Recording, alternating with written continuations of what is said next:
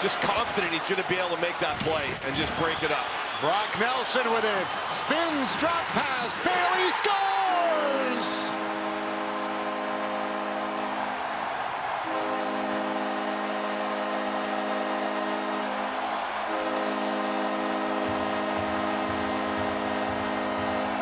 They always sing and ask, hey, Josh Bailey, they want to know when you'll score a goal. He's got the opener in game four at the Coliseum. Well, Cernak makes the long pass to Ross Colton, and Ross Colton can handle the pass. And as Nelson hits the zone, Tampa Bay has numbers back. They have a lot of guys back in the defense. Look at them all screaming back, but sometimes you can over back check.